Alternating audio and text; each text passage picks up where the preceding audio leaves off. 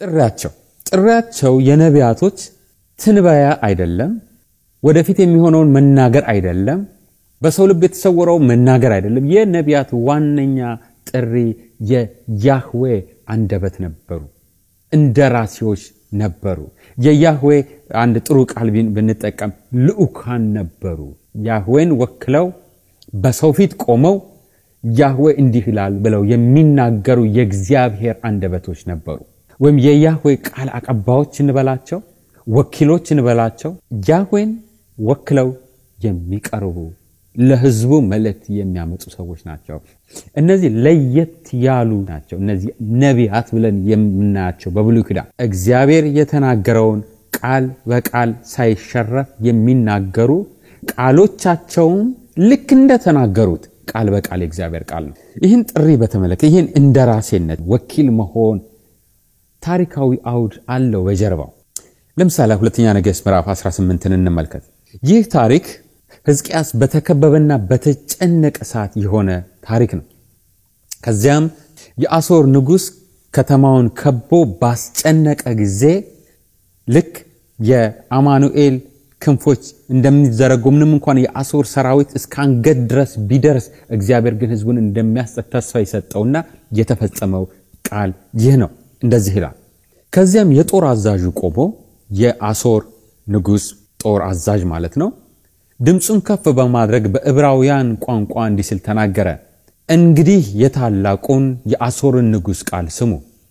ንጉሡ የሚለው ይህ ነው፣ ከእጄ ሊያድናችሁ አይችልምና ሕዝቅያስ እንዳያታልላችሁ። እዚህ ጋር እንድናስተውል የምፈልገው የጦር አዛዡ የአሦር ንጉሥ የተናገረውን ቃል ይዞ ነው ወደ ይሁዳ ሕዝብ መልእክቱን የሚያመጣው። ተመልከቱ፣ ይሄ የጦር አዛዥ ምንድን ነው ማለት ነው?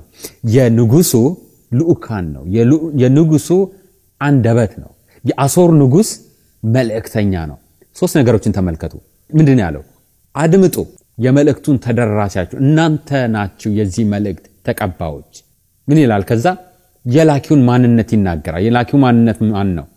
የታላቁን የአሦርን ንጉሥ ቃል ስሙ። ከዛስ የላኪውን መልእክት ይናገራል።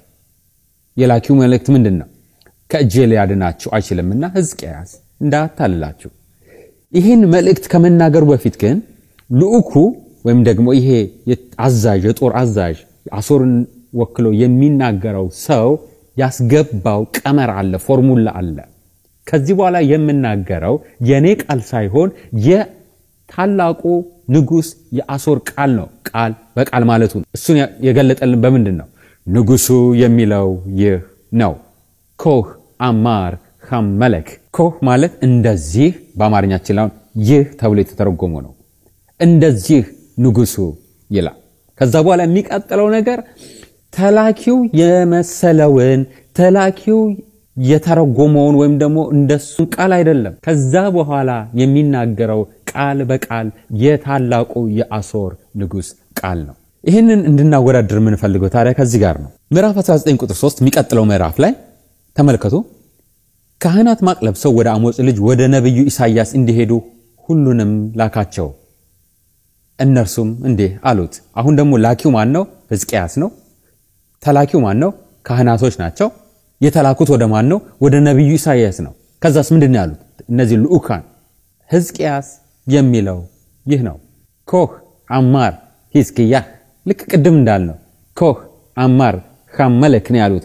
ንጉሡ ይህን ይላል the king። ልክ አሁን ደግሞ የሕዝቅያስ መልእክተኞች ልዑካን የሆኑት እነማን ናቸው? ካህናቶች ናቸው። መጥቶ ምንድን ያሉት? ሕዝቅያስ እንደዚህ ይላል። ከዛ ደግሞ የሕዝቅያስ መልእክት መጣ።